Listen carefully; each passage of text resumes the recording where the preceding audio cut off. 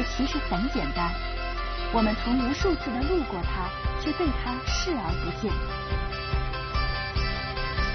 爱可以是行动，爱可以是歌声，重要的是你一定要勇敢表达。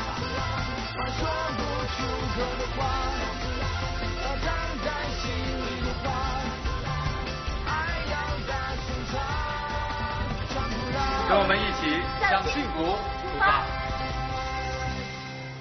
我从未停止行走，一路向前，步伐深远踏实，方能沿着初衷抵达高处。我一直热衷表达，但会说只能赢得掌声，会听才能唤起别人的心声。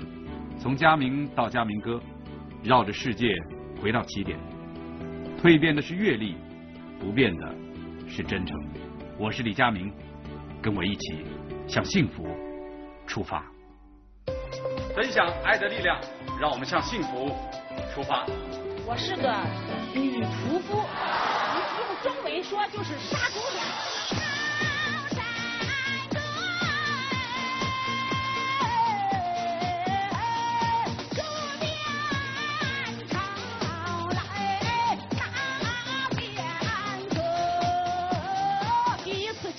时候，他没有看，你知道吧？嗯，那你看了吗？我看了，你觉得怎样？我当时就来气，我想把那个媒人给揍了。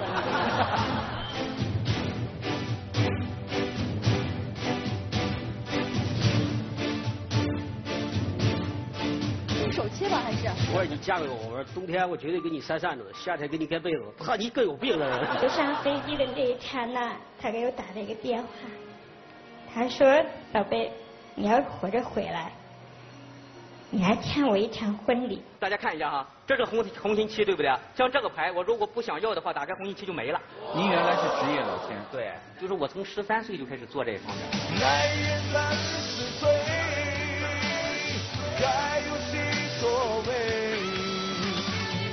而我是每年推诿，彻夜喝醉。爱要大声唱出来，向幸福出发。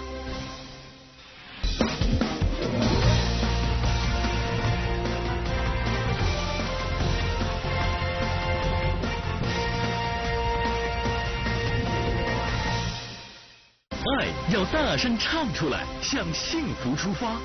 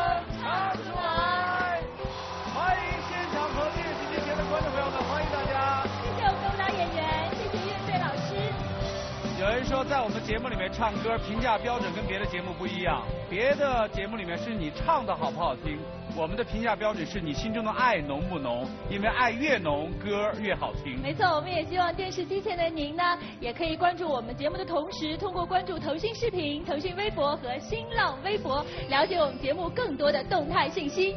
今天这期节目，我们将邀请四组嘉宾来到我们的现场，分享他们生活中的故事、生活中的感动。来吧，开始我们今天的节目吧。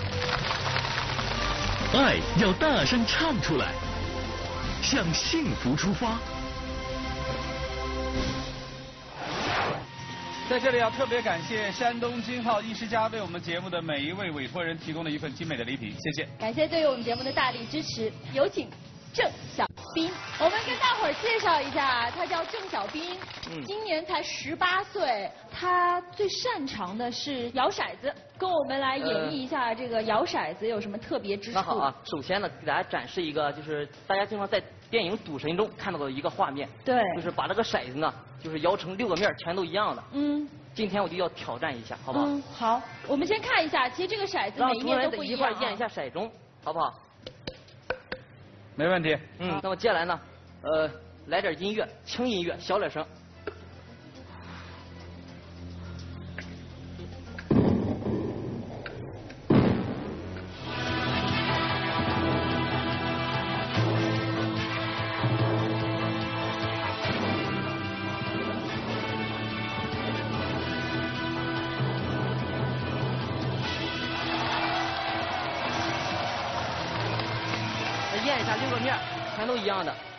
它的难度在这个地方，就是它的六面都得一样。对。如果它控制不住，它可能会出现这种状况。对对也可吧能就对它现在是六个面完全是一样的。嗯，还有吗？那么咱就换个高度的，行吧？用这个长的骰盅呢，给大家来一个就是挑战一下二十颗骰子，把二十颗骰子摇成一柱，五颗，十颗，十五，二十啊，是。把它摇成一柱。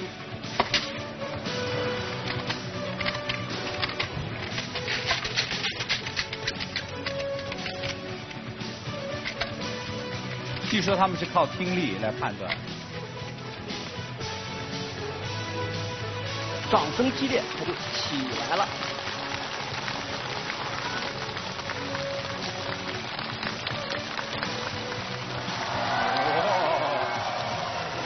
其实呢，咱不是难度最高的。我今天来到咱们向幸福出发的这个咱们栏目呢，我要挑战一下自我，还要。这是个什么道具？我给大家介绍一下。一个木条，上面。上面六颗钉子。你不会把骰子最后落在钉子上吧？没错。啊？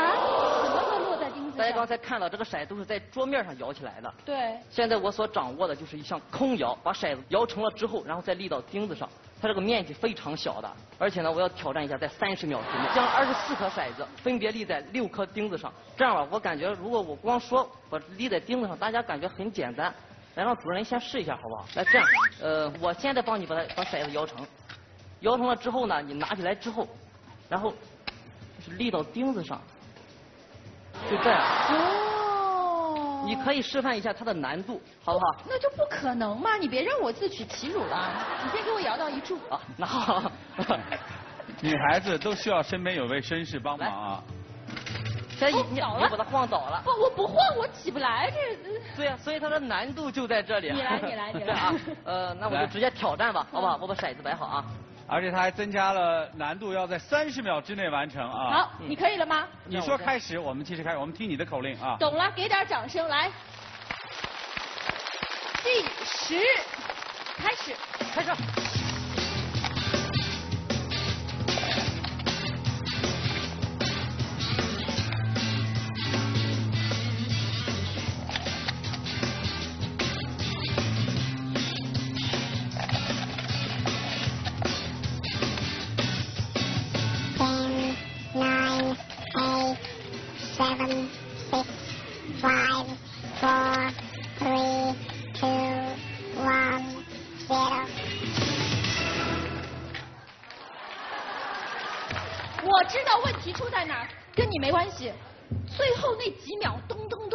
听了都慌，你知道吗？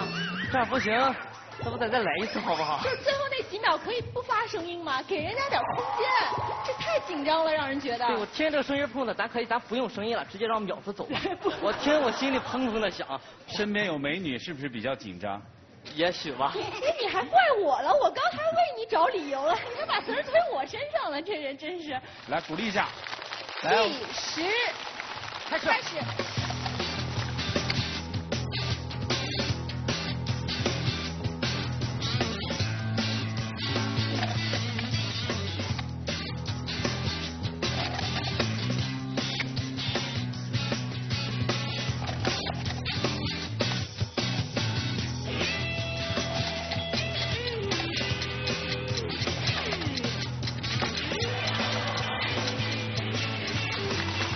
算成功，这个算成功。刚才我我跺了一下脚。呃，我帮你理由找。这舞台大概是这个效果这个舞台呢要非常的稳才可以的。都怪你呼吸声音太重了，我跟你说。我怎么净搞破坏啊？来鼓励一下小兵。厉害了！我们跟大伙儿介绍一下啊，别看他年纪小，他是一个反毒导师，他帮助过上百个家庭戒掉过毒瘾了。嗯来跟我们介绍一下你所接触的家庭当中，有没有让你印象特别深刻的？让我印象最深刻的就是在二零一二年的时候，我认识了一位来自江西九江的，嗯叫小陈，就是他和他媳妇儿都是非常喜欢赌博。就是有一天呢，他邻居给他打电话，叫他去赌博，然后呢，他们两个就趁呀四个月大的孩子睡熟之后放在吊篮里，然后就去了。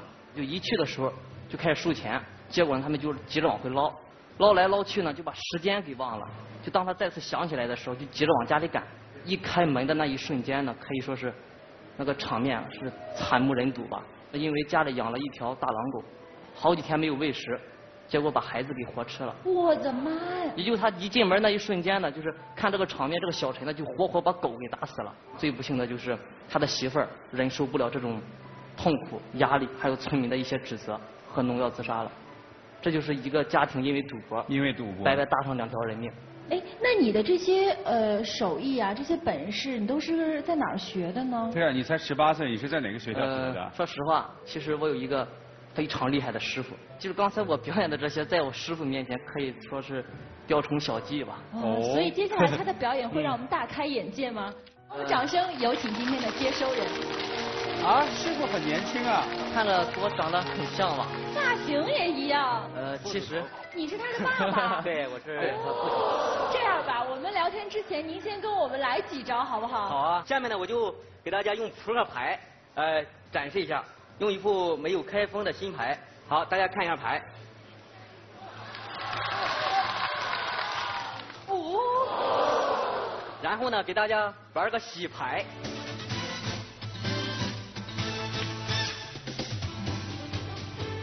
刚才大家看到了牌呢，洗的非常乱了，对不对啊？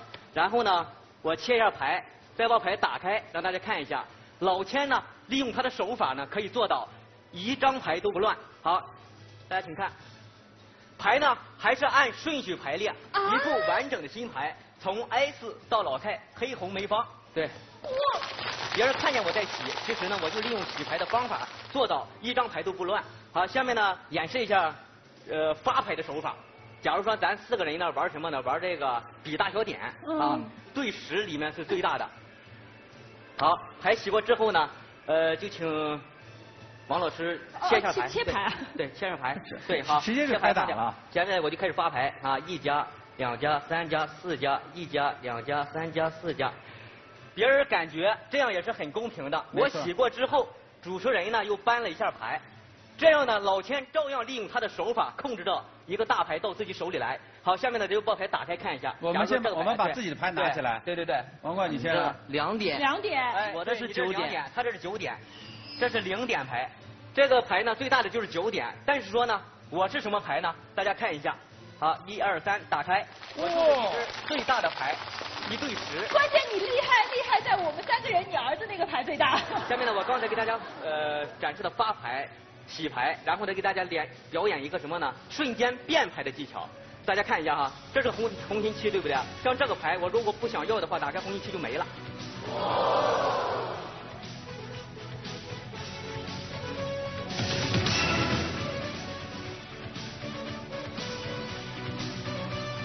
哪里去了呢？我告诉大家，这个牌呢，瞬间就打到我的袖子里面去了。如果说这个牌再不想要了，就没了。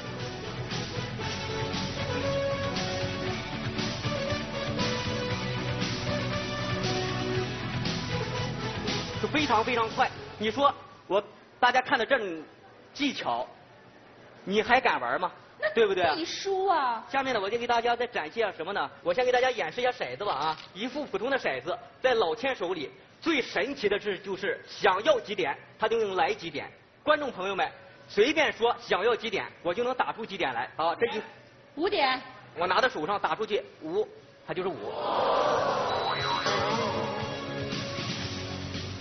好，我想要两个一，我从这里打上啊，两个一，它就是两个一。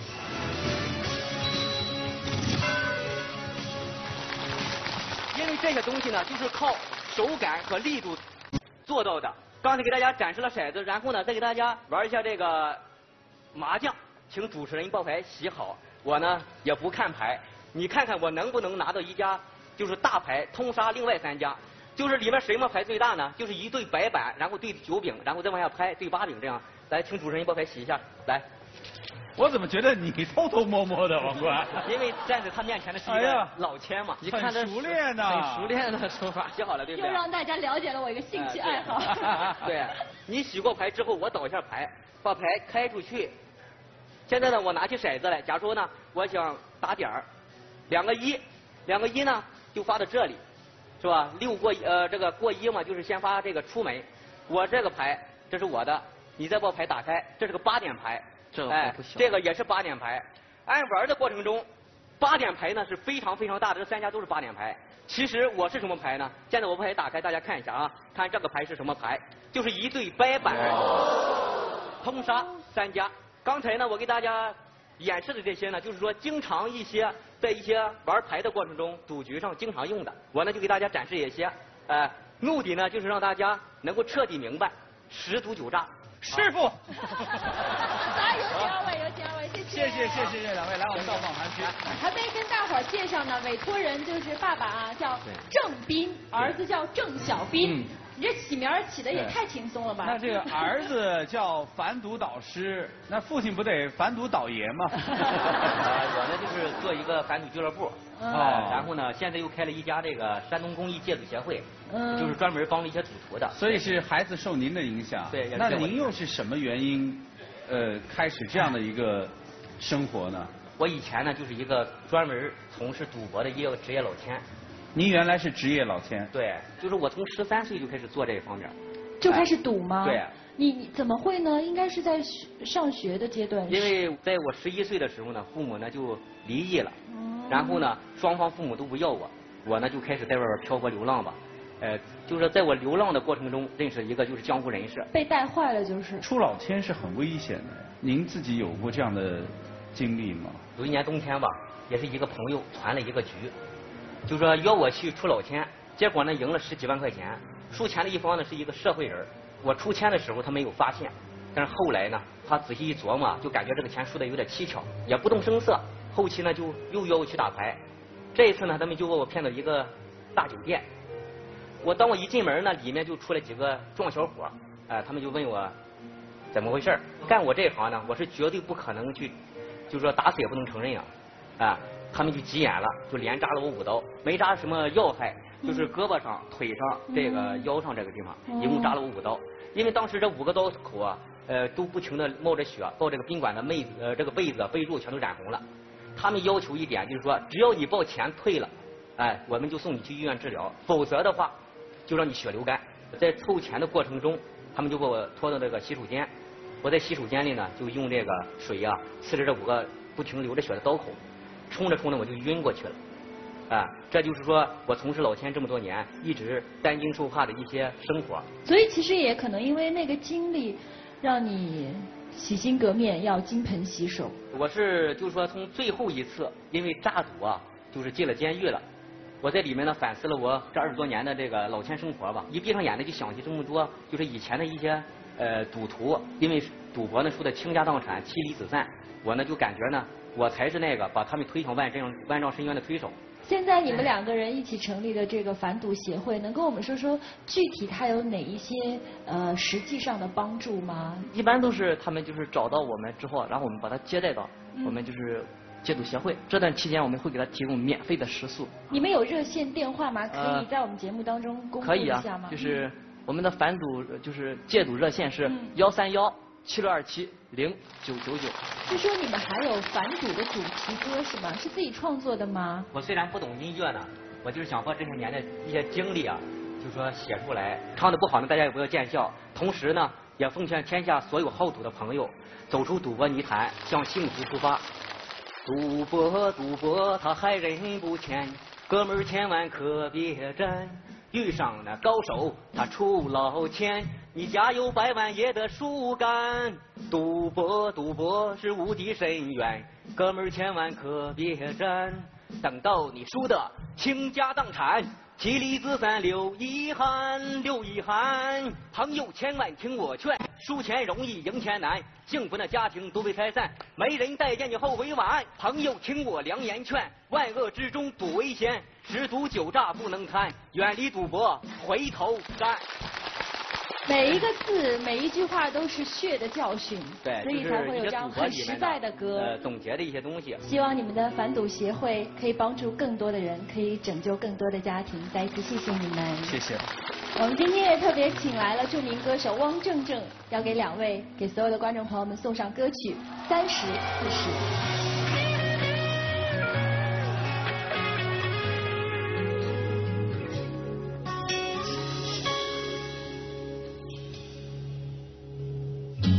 总结了自己，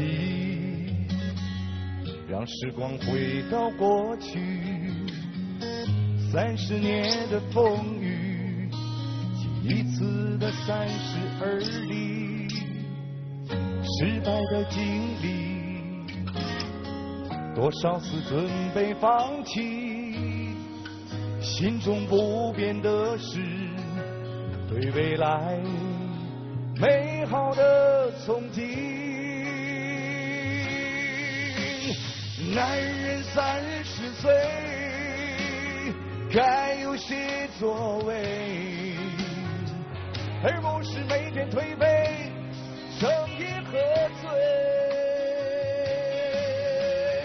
男人四十岁，不惧苦和累，何谈青。春似潮水，一去不再回。脸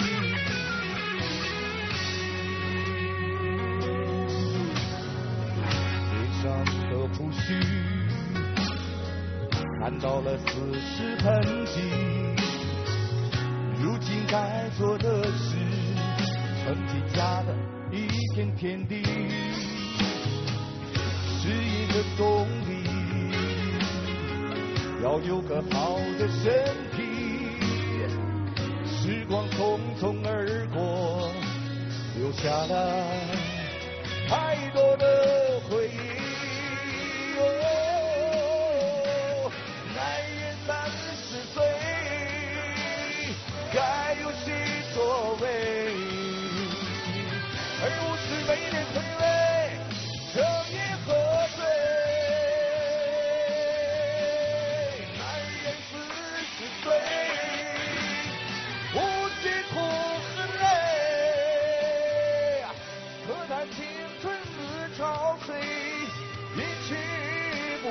会，可叹青春似潮水，一去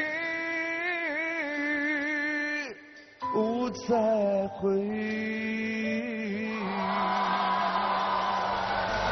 爱要大声唱出来，向幸福出发。您现在正在收看的是《向幸福出发》，我们继续来感受爱的力量。有请委托人穆俊霞要给我们带来一段精彩的表演。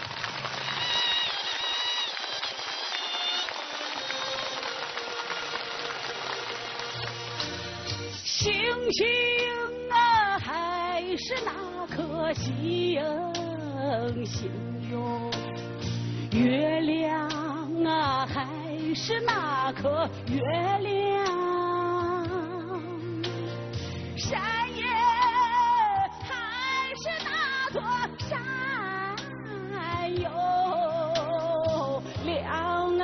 是那道梁。燕子是燕子呀，岗是岗啊，爹是爹来娘是娘。马有灯啊，直直地响，还是那么点点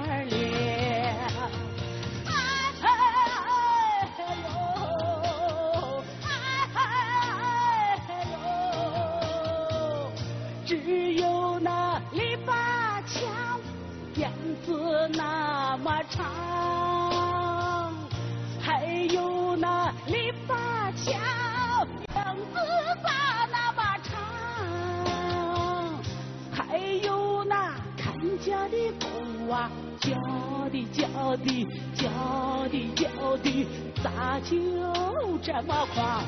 这么狂？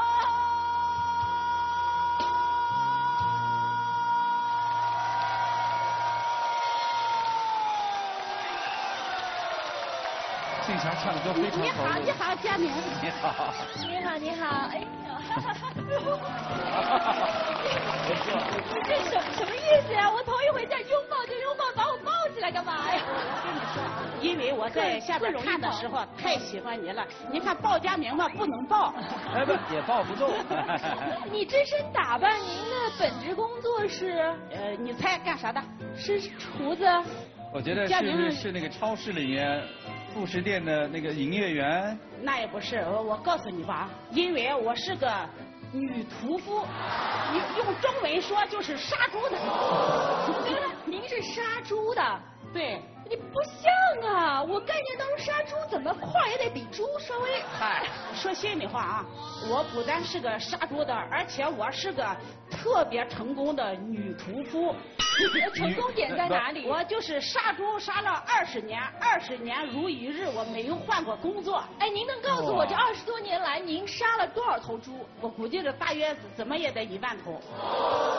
最近这二年吧，就是呃，因为那个统一的屠宰嘛，现在就是把这个猪啊拉到这个屠宰场杀完了以后，再拉着上市场上去卖。那你卖的时候吆喝吗？平常啊，现实生活中啊不吆喝，但是今天因为有你两个在这里嘛，我还这个兴趣还就来了，还真想吆喝两句。好 好好。来，我们现场卖头猪。兴趣来了就得吆喝两句。我我我可告诉你，佳明，咱这这是现场发挥啊，好好？咱们就要现场的。我家的猪肉鲜又香啊！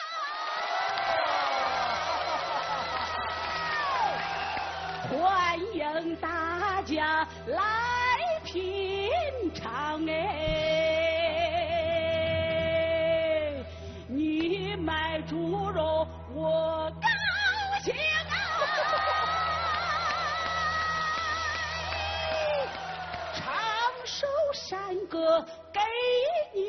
你听哎。赚了，买猪肉还能听山歌。当当当当当当当，我家的猪肉十八万。这猪还有腰身是吧？不是，我就是啊，真棒哎！那你是卖猪，肯定生意特别好吧？因为您还带唱的。对你像我这个人吧，本身就是那种缺心眼的人。哎，老头老太太到哪去了，我就说大叔，我给你唱首歌。他们你看不买还得买。怎么了？那有没有人给你点歌呀？像我如果来买猪肉的话，我肯定点个流行歌。这里的猪肉。呃，流行歌也会唱，就是这高亢的歌曲就是也会唱。呃，在这里呢，你看咱这么观众这么多，让他们和我一块玩怎么样？大家说好不好？好，呃，咱唱一个就是呃阿宝的歌曲。你看阿宝唱的那歌曲，在我这里吧，一般的就是不高。这还不叫高啊！你看他唱的那个沙滩滩开花红艳艳，上去以后不跟我这个上去，歘一下子上去了。这拐了几个弯才上去是吧？对对。唱一个沙滩滩开花红艳艳，咱唱几句，让大家高兴高兴。好。这个现场观众听完以后，今儿得每人买两斤猪肉走啊。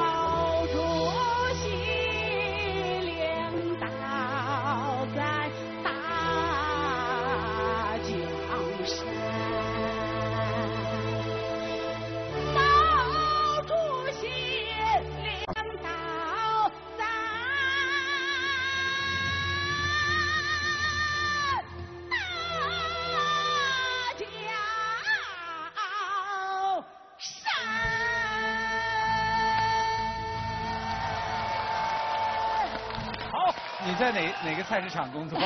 我下次要来要听你唱歌。大家想一想啊，这一大早听到这样的歌声，那一天心情都特别好，对不对？哇，真棒！流行的，流行的，赶紧来一个。死了都要爱吧。你这不会拿着猪肉死了都要卖吧？唱一句死了都要爱你，好不好？好，没问题。死了。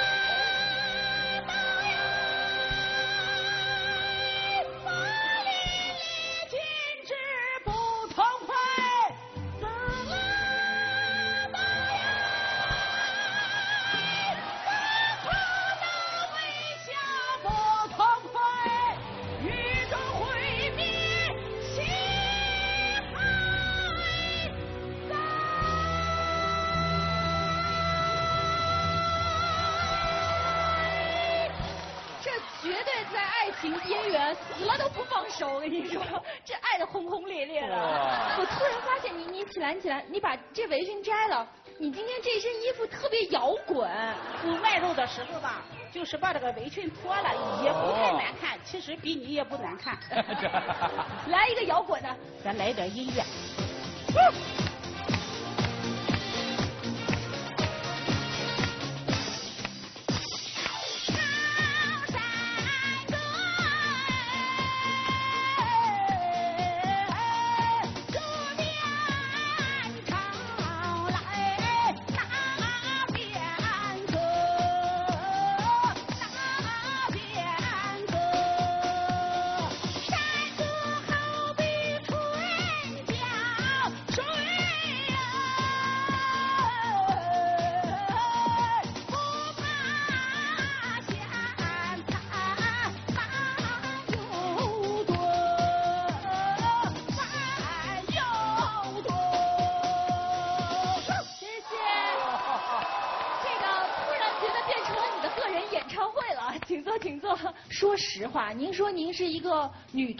是吧？你为什么没走歌唱这道路，怎么去呃杀猪了呢？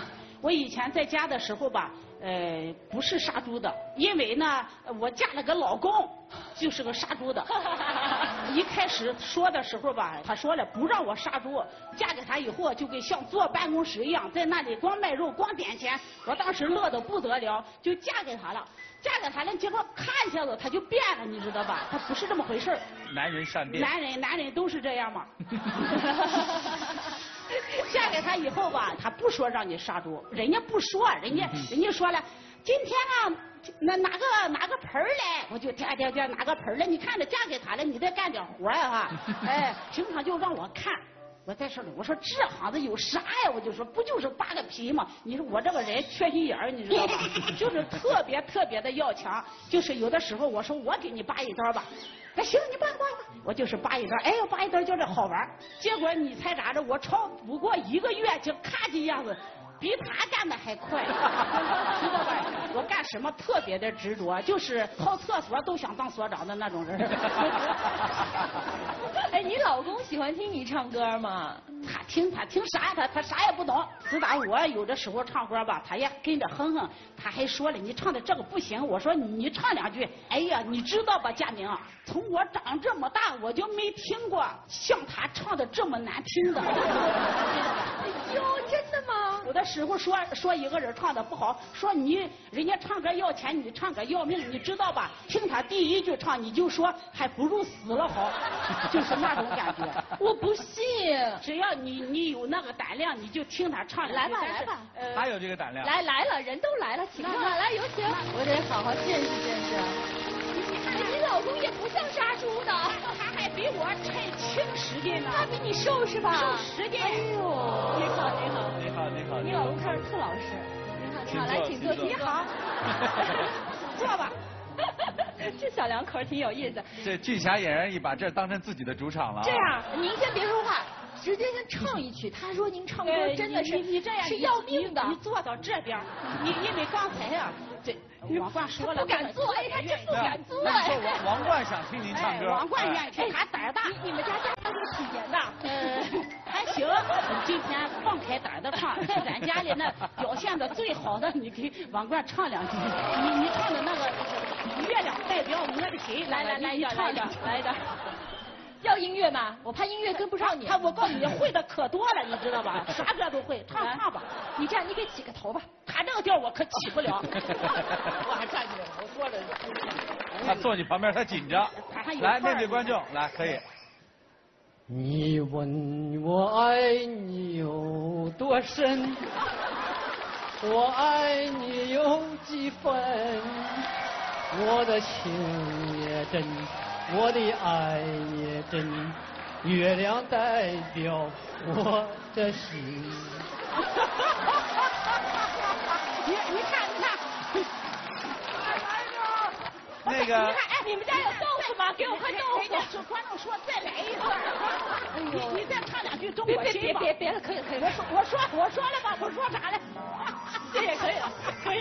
哎哎呀，洪先生，您刚才这个演唱没有夸张，是认认真真的唱。你他唱哭你了。是真是认认真真的在唱。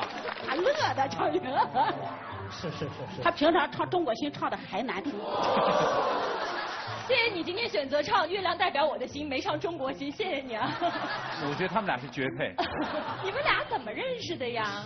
呃，是这样啊，准确的说，是我丈母娘先看上我的。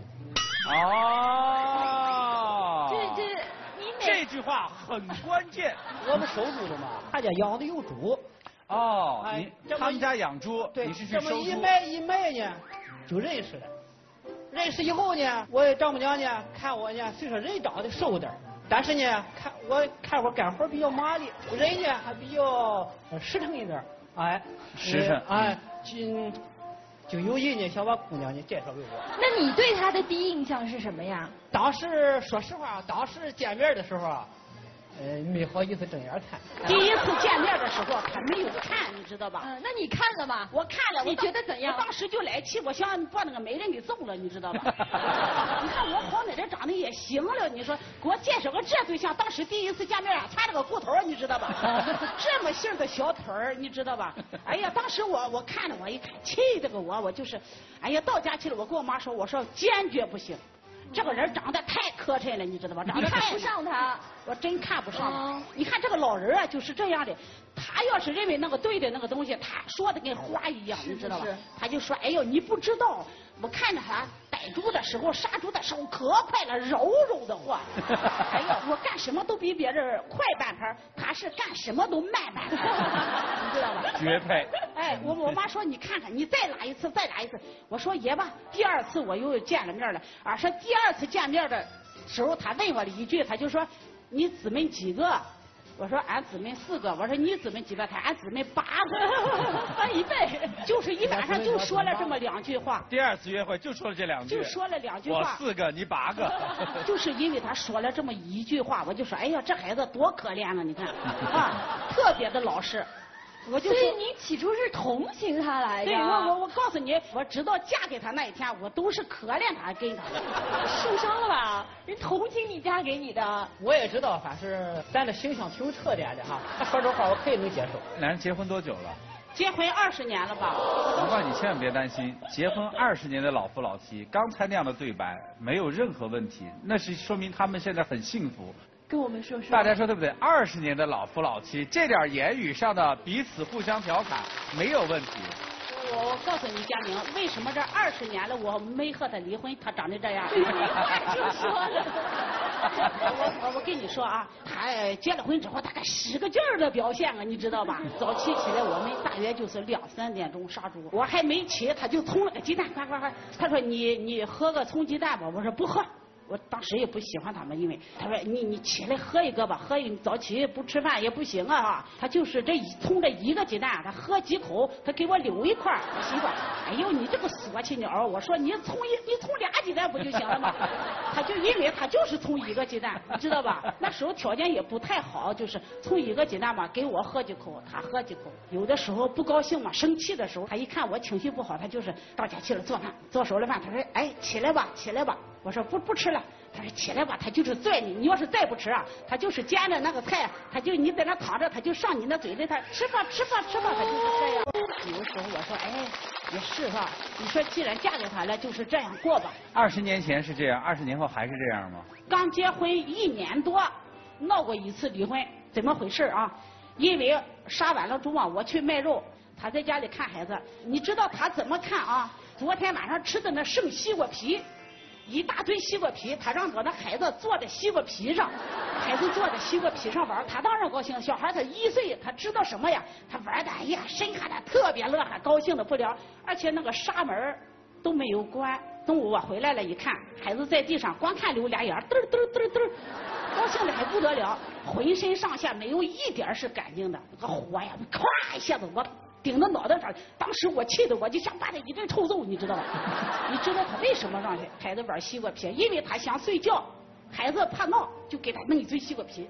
我那里有一瓶那个杀虫灵，我就是拿着那个杀虫灵啊，我照着那个房顶，那个苍蝇大发了屋里，看不见白的地方都是黑的，就是我这打打打打打，那个那个苍蝇噼里啪啦噼里啪啦跟下雨了一样就掉。我在那正打着呢，他起来了，哇，去倒那去，把我的那个那个杀虫灵拿起来就倒到地上，嘎嘎嘎。那么大劲儿，你知道吧？把那个杀虫灵咵咵给踹烂了。俩人的火都到都到顶点了。你你想想，本来我这个火我就是压了，给你个面子，他就是咵咵咵就我踹烂了，把那个火当一下我就上来了。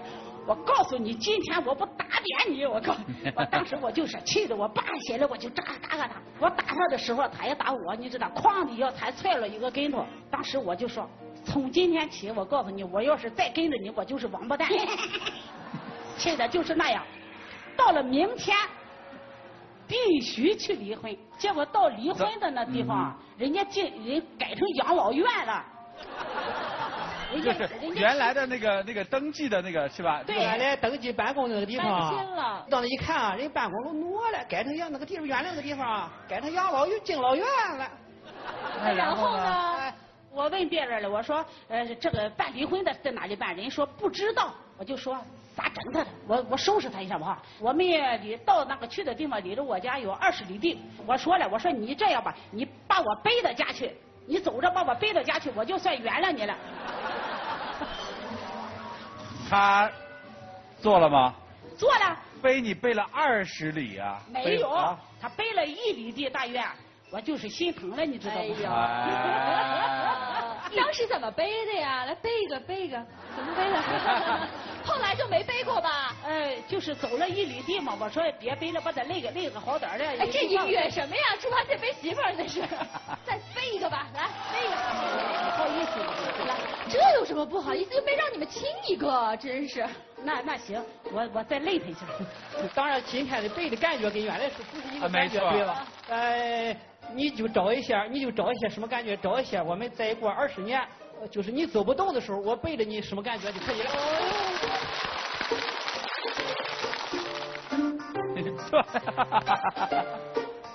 你这是要压死他。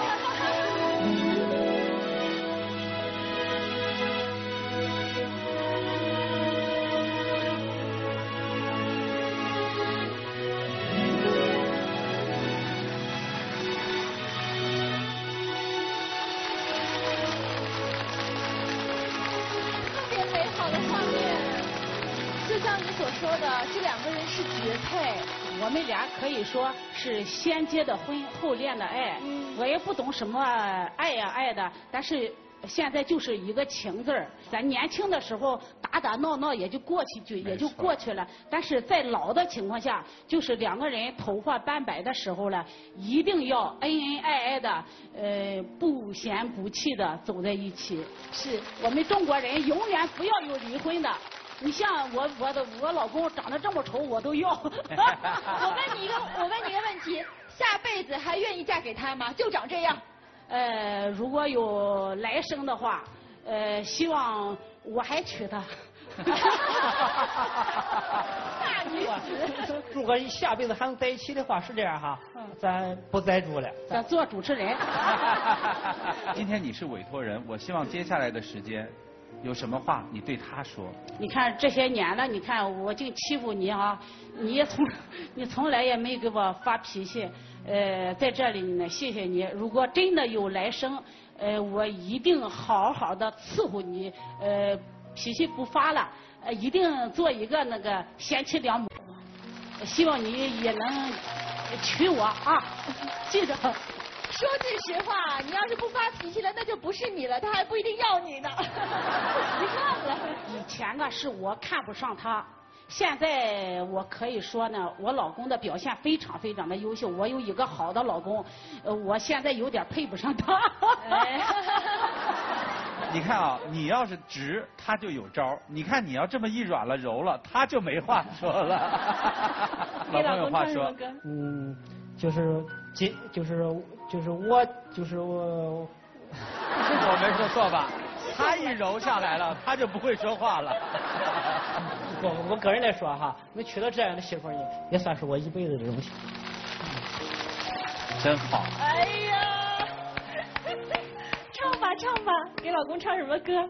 我这个人长得也不怎么样，这个脾气也这么大，但是遇到我这样的老公啊，我今生知足了。遇上你是我的缘分，老公，我把一首《遇上你是我的缘》送给你。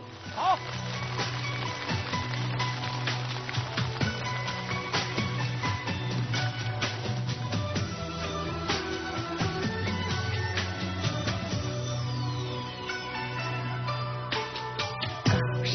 家的情歌，是这弯弯的河，我的心在那河水里游。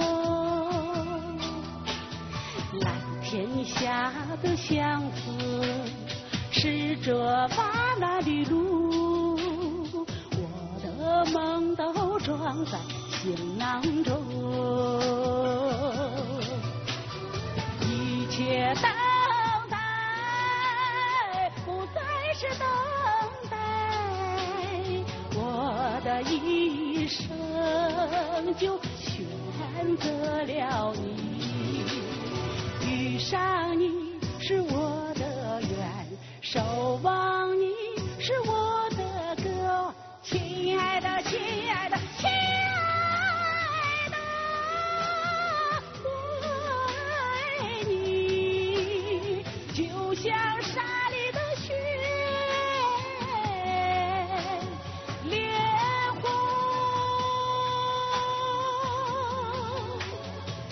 就像山里的雪，莲花。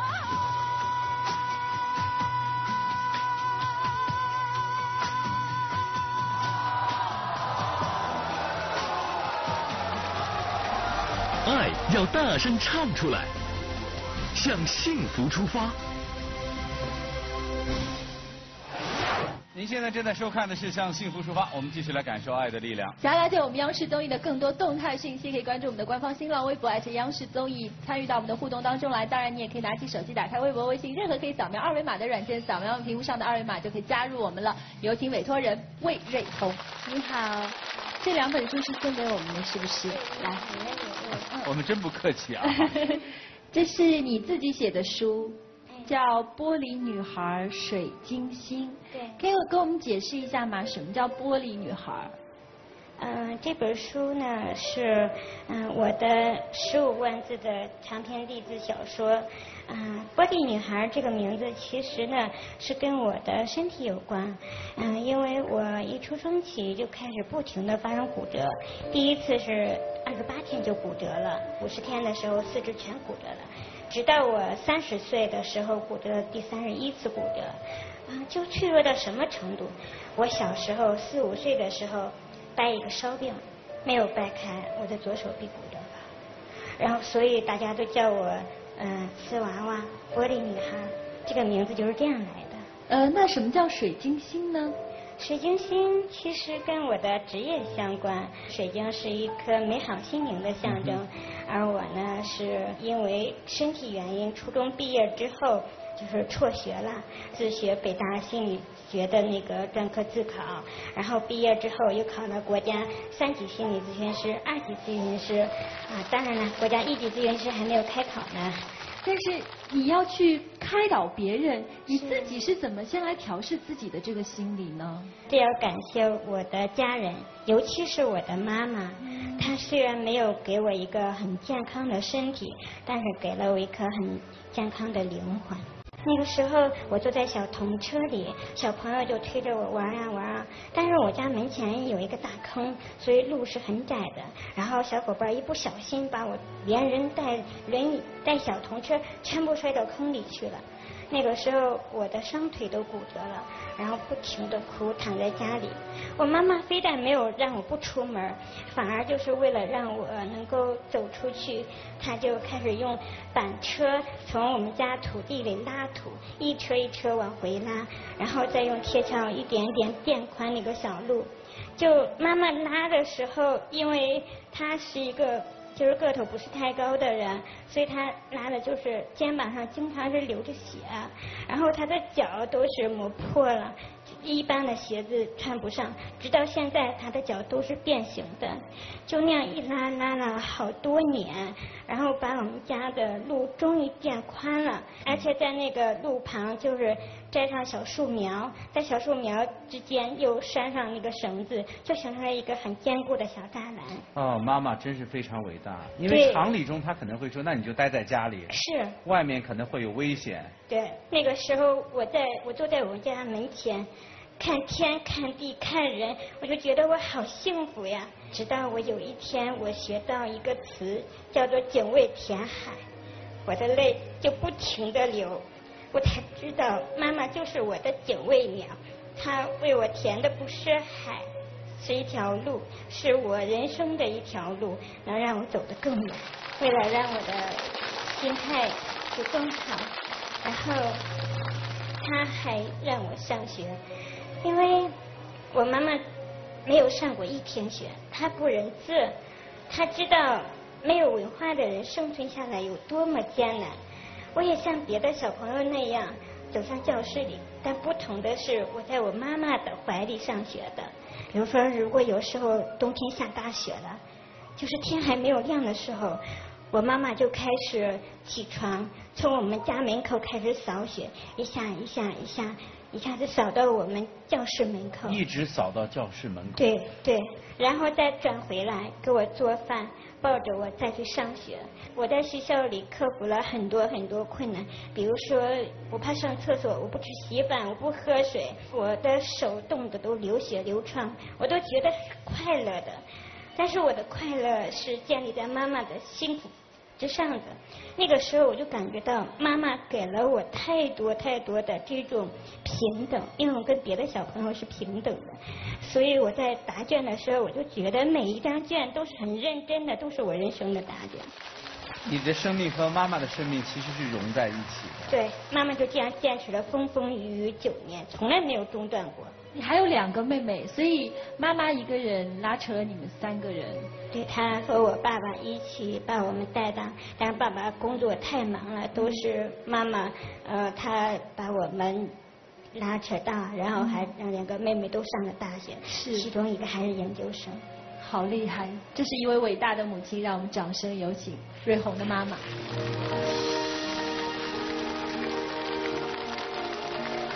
你怎么哭了呀？是刚才有听到女儿在跟我们聊天是吧？挺不容易的，你也挺不容易的。最觉得让她心里勾起回忆的就是我刚出生，嗯，二十八天就骨折了，然后抱着我上医院。那个时候医生就责怪他说：“你是怎么当妈的？这么小的孩子就被你弄骨折了。”然后我妈妈那个时候就觉得特别自责。但是没过多久我又去医院了。那个时候医生看了我这个样子就说：“哎，你孩子就是这个病，然后他会不停的骨折，也长不大，哎，你还是扔了算了。”我这孩子要是挤得够俺不是扔，俺挤得滚囊囊了，俺就好紧呢。嗯，我妈妈说，就是一只小鸡小狗在我家，我也是一条命，我都不舍得扔，何况是我们的闺女呢？我要把她养大。你做到了，你把女儿养大了，而且还成家立业了。现在在瑞红身边的就是瑞红的丈夫。您好，结婚多久了？结婚半年了吧？半年了。你们俩怎么认识的？我是他的粉丝，第一次认识他是等等，你在电视是他，你。是他的什么？粉丝。对，当时看了他在电视里做了一期节目，就觉得他很可爱、很坚强，尤其是他的微笑特别的灿烂。然后就上网查了他的电话，之后我们就一直通过网上聊天。所以其实你见到他第一眼，在电视上你就知道了他的整个身体状况、家庭状况，你都知道。对对对。呃，你去找他，只是说想要鼓励他，还是你真的是喜欢上他了？我就觉得光聊天还不够嘛，要是能到他身边照顾他就更好了。你的家乡在哪里？我老家在福建，他在北京工作，于是我不顾家人的朋友的反对，我就把老家的工作辞掉了，然后就专门来北京照顾他。他给你提出这样的一个要求，你怎么跟他说的？那个时候我在北京在工作的劳累的时候，我得病了，而且是罕见病之外又一种并发症，生死在眼前，所以我觉得我就怕那个拖累他，我就不答应，真的不答应，而且他我赶都赶不走。呃，为了陪我看病，他当时住地下室，我在女生宿舍。比如说我们去医院看病，早上四五点钟就出门了，然后正渴的时候，嘚儿从包里边拎出一瓶水来，然后正冷的时候，嗯，拿出他衬衣来了。他觉得他一点点都做的都非常非常好，他越好我越内疚，他越好我越内疚。那个时候我就想到，其实我我的家人已经没得选，他们把我生下来是一种责任，把我养大。但是对于一个小伙子来说，他选择我，这这不是他的责任，但我就觉得我不应该给他的生活带来一些呃很 很艰难的日子，所以我就一直拖着。一直拖到什么时候你答应了？拖到筹够了四十万去意大利做手术，就上飞机的那一刹那，他给我打了一个电话，他说：“宝贝，你要活着回来，你还欠我一场婚礼。”因为，因为我的手术，不要说在中国了，就是在意大利，甚至于整个欧洲，都是第一例，是颅底凹陷症，又引起了脊髓空洞。那个时候我已经写好了遗书，我写他名字的时候，我在想，在他的心里已经是我的丈夫，但是我还要给他一个自由。当我躺在手术台上的时候，说。也许这是就是人生的一个句号了。呃，叫着家里所有的名，叫着他的名字，在想，我得到这么多爱，我没有遗憾，我只要勇敢就好。当我醒过来的时候，我才知道我真的活了。我老天又给了我几十年，我又可以陪伴他和我的家人。我回来的时候，我本来打算跟他去领证的，但没想到一个喷嚏没打好。肋骨又骨折了，从五月份躺到了六月份，二零一三年的七月份才得这。嗯，让很多人都觉得很惊讶，其实也挺佩服的。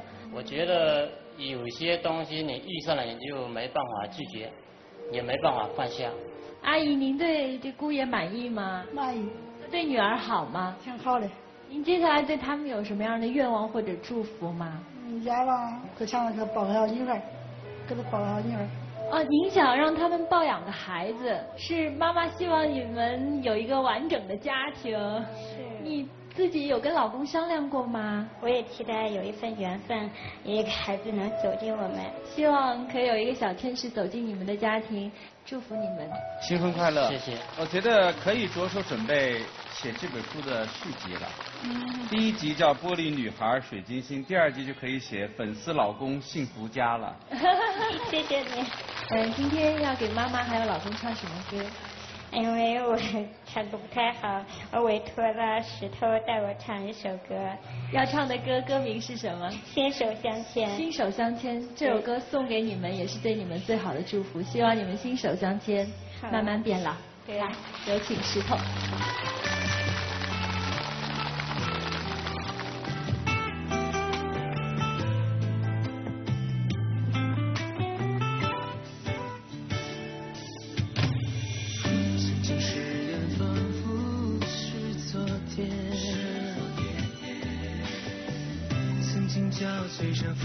现眼前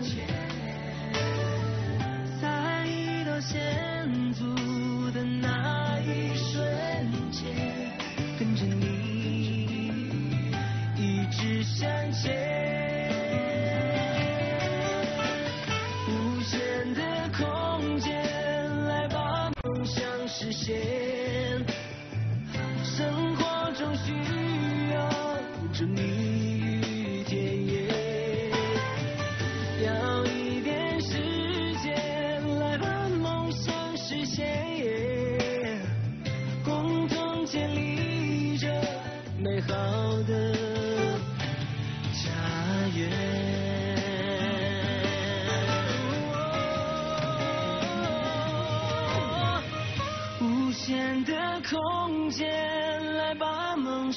实现，生命路需要我们肩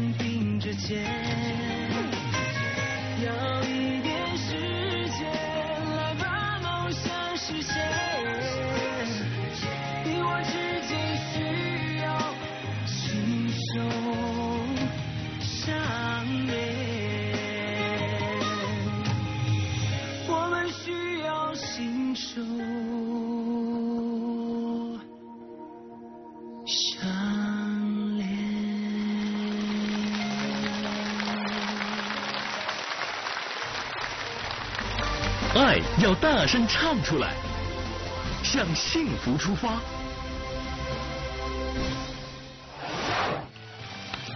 您现在正在收看的是《向幸福出发》。站在我们身边的这位呢是委托人陈子宝，跟大伙儿介绍一下，他是我们餐厅的老板，但是呢他有两项世界吉尼斯的记录，第一项是什么呢？在自己的大腿上切肉丝，九十秒内可以切三十二根肉丝，而且这个肉丝的粗细是一样的。等等，你的这个介绍不准确。在大腿上切，把别的肉切成肉丝，还是把自己的大腿切成肉丝？别的肉，别的肉，自己的大腿毫发无损，是吧哇？好，这是第一项记录。第二项世界吉尼斯纪录就是用三把刀命中八米以外的同一个靶子。怎么样？先看哪个？三把什么刀？菜刀。就是这种刀。对对对。不是那种小匕首那种。哎呦，你别问了，你先说你想看哪个？只要不切我看哪个哪两个我都想看。先来一个切肉丝好不好？好，可以，可以。这样，咱们先来个气球上切肉丝，哦是吧？早有准备。效效果是一样的。对对对啊对，来，您不会您不会。把气球放在这上面吧？对，我就在放在但是这还是这还是四颗钉子的。对对对对。也就是说，下面是四颗钉子，上面是菜刀切，这是双重的压力，这个力度要掌握的非常的精到啊。对。哦，这是真正的气球啊！这个是为了证明这是真的气球。对，我也检验了，这是真的肉。开始。发现站你身边有点危险。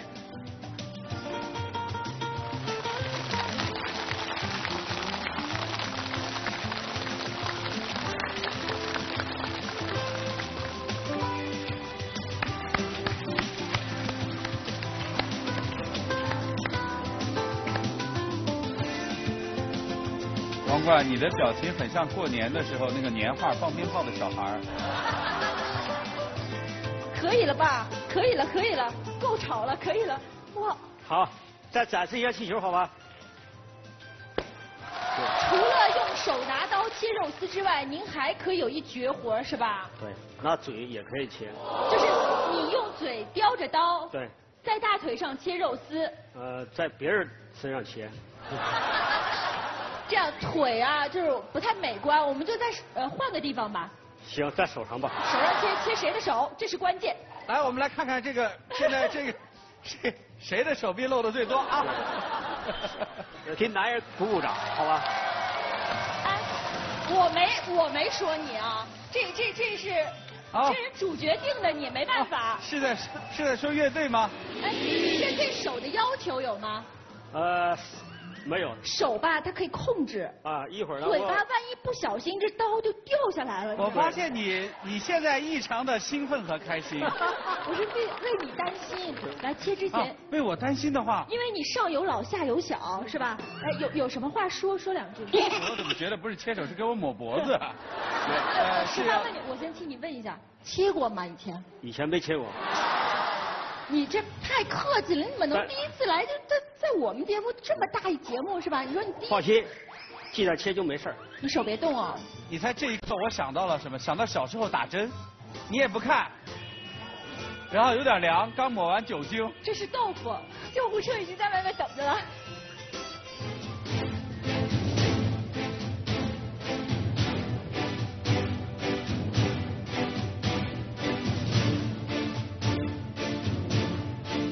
手切吧，还是？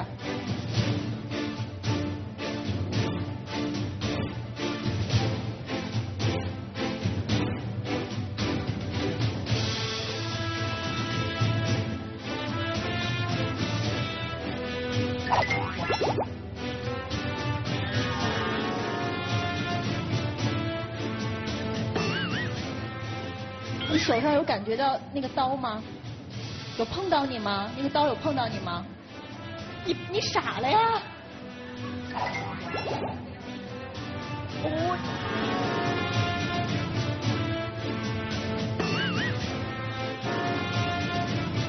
这是痛还是怎么着了？有话说。OK，他手没事吧？有伤着吗？没事，掌声要展示一下，真是刀下无痕，没事儿。王老磊要展示一下他切了个效果，哎，很薄。展示一个菊花。谢谢徐师傅，嘴下留情。这个是什么呀？哎呦，这是一个银丝带切出来，一拉老老长了。用什么切？拿菜刀在哪儿切？就在这上面切。哦，就在这儿切，好，那你就切吧。这刀工啊，哦，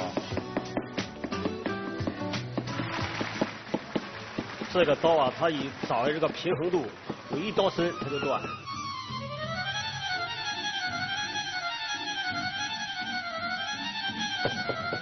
这纯属就是考验刀法的。对，行，好，完事儿。哇，这是你的感觉，很厉害，很厉害，谢谢，谢谢，谢谢。我看这还有一个萝卜，是怎么着呀？哎，这就可以在女孩子的肩膀上试一下啦。可不可以这样？我给你出个难题啊！啊我们那儿访谈区，你一边跟我们聊，一边嗑萝卜，行吗？可以可以聊完了，这萝卜也嗑完了。好可以吗？好吗？啊，我们期待一下。来，我们这边有请。好好来边雕萝卜边跟我们聊天，可以可以可以，好好。姐，您现在是餐厅的老板。对对对呃，起初找工作顺利吗？不顺利，我们在崇武门有两三天就不吃饭，晚上就睡那天桥下边儿，那铁道桥上也睡过呢。这铁道桥看着上面生的全是锈，也没想到他会走火车但是当地人就知道了早晨他起来那个遛狗的老太太哎呦我这小伙子你们怎么睡这儿？他说多危险啊我怎么怎么危险了？他说你知道吗？有时候一这上面过火车呢哦 好危险对呀哎呀我们谢谢谢谢谢谢什么时候开始从厨师变成这个现在刀工的大师啊？因为接触了我的媳妇儿当时可能也是说为了追到她想练一门好的手艺能证明自己然后就开始就自己琢磨看哪一招能出来呢？就通过有一个电影叫《食神》，他把里边那个刀工玩的刀舞飞扬，啪啪往上都能打。我说这如果是在电影当中能出现，那生活当中绝对能出现，就好好练呗。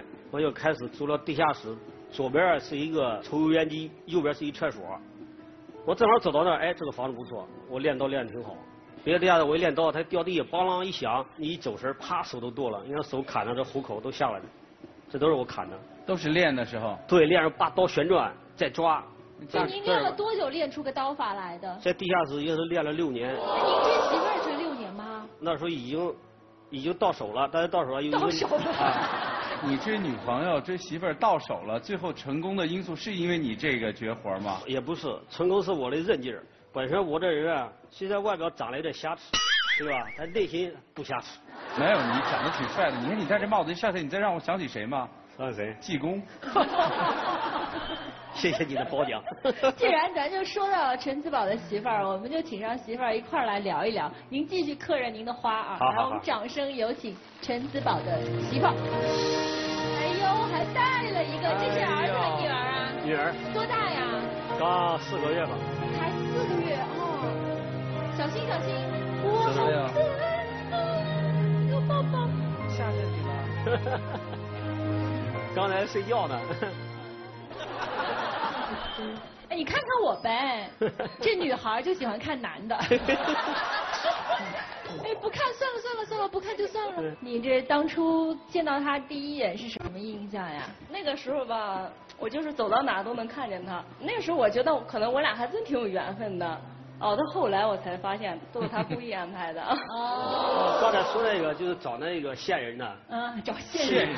是一个老头。这到刑侦剧了啊。对，这女孩吧，她一般相信老人。我去到饭馆点菜，你你们俩该聊聊，该吃吃，吃完我买单，你该走走。你他他是他不知道，就这样撮合了机会。啊。对。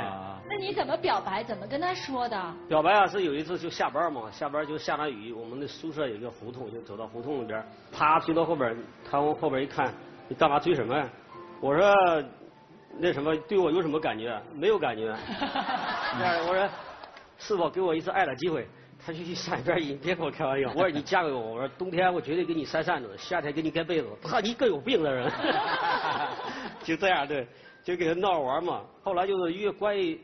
就太深的深的时候，他告诉他家里订了有婚，他家骗他让他回去了，让他回老家了，就介绍我的情况，完了我的照片让他们看看，他们说不太好，比济公还难看。就是 起初家人也不太同意。不太同意。嗯。通过一一段时间的考虑，他感觉到是陈世宝虽然长得丑一点，但办事还还挺漂亮。后来就这样，他又回来了，呢，回来特别高兴。那高兴完了，我就想这事怎么办？如果嫁给我，我再给他衣食住行再保证，我只能从我专业上来突做做个突破点。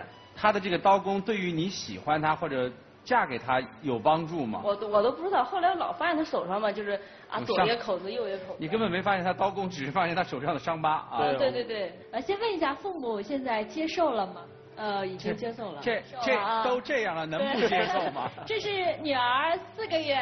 跟大伙儿说一下，这是小女儿，还有个大女儿呢。对对对。大女儿多大了？大女儿今年五岁了。来，我们有请大天使。啊，真哎呦，还捧着花来呢。哎呦，看到妹妹很开心，跟我们自我介绍一下好不好？阿姨好。你好，你叫什么名字呀？我叫悠悠。悠悠，今年五岁是吧？你这来了还捧了一大束，这是什么花呀？玫瑰花。玫瑰花，你这玫瑰花是什么用途呀？给我妈妈。送给妈妈。你要送给妈妈玫瑰花，还是爸爸要送给妈妈玫瑰花？我爸爸做的，送给我爸爸。送给妈妈啊。你就是一快递员是吧？你爸爸自己做的。哦，这是用萝卜雕刻的花。对对对。哦，我才发现哎。都是拿萝卜做的。这里面有多少只啊，陈子宝？里面是三十二朵，我雕雕这一朵就是三十三朵，就是代表了我媳妇儿的年龄，三十三岁。你真是太实诚了，媳妇儿年龄随便公布。啊，就差这一朵了。对对，他真是很有心啊。他是个浪漫的人吗？以前送过花吗？从来没有，从来没有。宝宝，我来抱你吧。这个时候你处在当中真的不合适。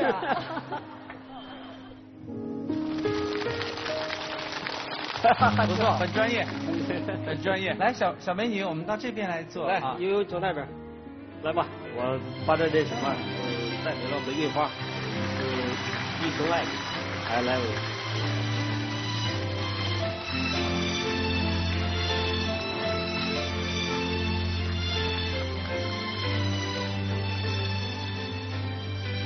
哎，他怎么所有的姿势都像夺冠了一样啊？到手，爱要大声唱出来，爱要大声说出来。一个人有幸福就要去追求，向幸福出发。谁唱歌？呃，我来唱吧。唱什么歌？唱一个亲亲我的宝贝。三个宝贝都在这儿了啊！对对对，来，掌声有请。好好。爱要大声唱出来，向幸福出发。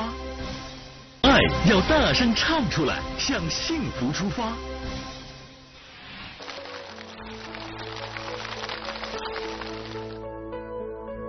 亲亲呀，我的宝贝，我要越过高山，寻找那已失踪的太阳，寻找那已失踪的月亮。我要飞进无尽的月空，摘个星星做你的玩具。我要亲手触摸那月亮，还在上面写你的名字。啦啦啦啦啦啦啦啦啦，最后还要回来，回来，回来，告诉你那一切亲亲我的宝贝。啦啦啦啦啦啦啦啦啦，还在上面写你的名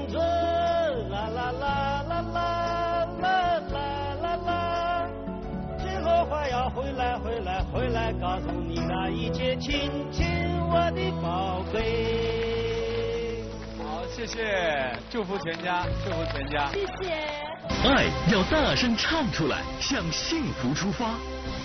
爱要大声唱出来，向幸福出发。同一首歌，唱第一遍和唱第一百遍的感觉不一样。同一首歌，唱给你听和唱给他听的感觉不一样，因为这里面有生活的味道，有爱的味道。